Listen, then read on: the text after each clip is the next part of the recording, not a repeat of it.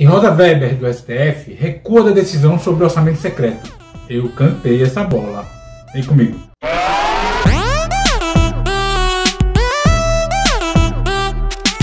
Antes de seguir, eu gostaria de pedir seu like nesse vídeo, sua inscrição nesse canal.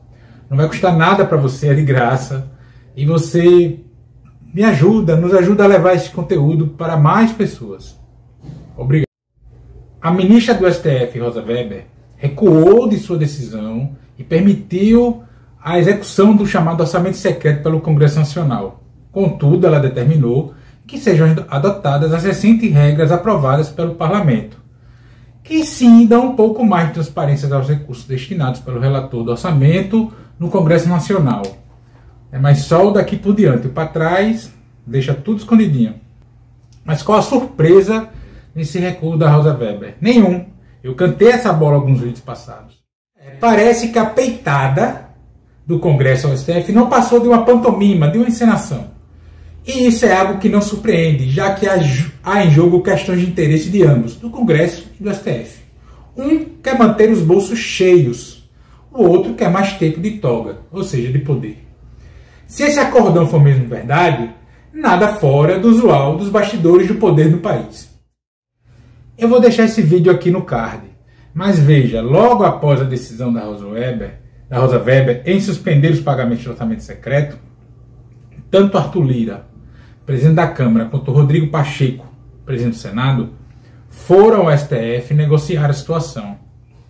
Um acordo com a corte foi feito ali, mas os passos de cada um foram sendo dados aos poucos. O próprio Rodrigo Pacheco, ao deixar essa reunião, sem explicitar muito, adiantou o acordo. Mas muita gente não percebeu. No vídeo que fiz, esse que acabei de citar, tem a fala do senador. Veja, os presidentes do parlamento anunciaram que não iam divulgar os nomes de quem recebeu os recursos do orçamento secreto, como foi determinado na primeira decisão da Rosa Weber. As manchetes sobre isso logo, logo foram de afronta ao STF. Mas tudo não passou de encenação. E qual foi a moeda de troca do Congresso para o Supremo? Foi a não tramitação da nova PEC da Bengala, ou a PEC que desfaz a da Bengala aprovada no governo Dilma. Essa PEC é uma PEC que reduz, traz de volta a idade máxima, a idade de aposentadoria dos ministros do STF para 70 anos, que hoje está em 75 que foi aumentada para 75 no governo Dilma para que Dilma não nomeasse ministros ao Supremo. E agora a bancada do Bolsonaro tem, lançou isso.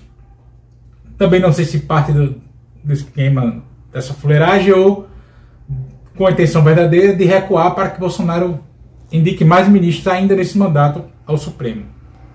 No encontro após a primeira decisão da Rosa Weber, Arthur Lira teria dito que não pautaria a PEC, a partir daí, Rodrigo Pacheco teria iniciado a conversa e ficou tudo acertado ali. Até a, aspas, afronta.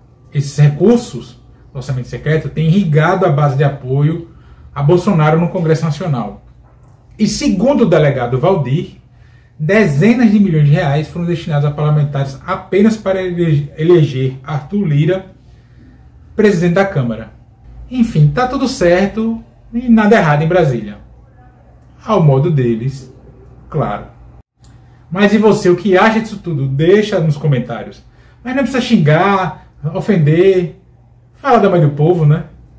E não se esqueça de se inscrever no canal, deixar o like nesse vídeo, porque isso ajuda a gente demais. Compartilhe ele com seus amigos se você gostou desse conteúdo. Um grande abraço.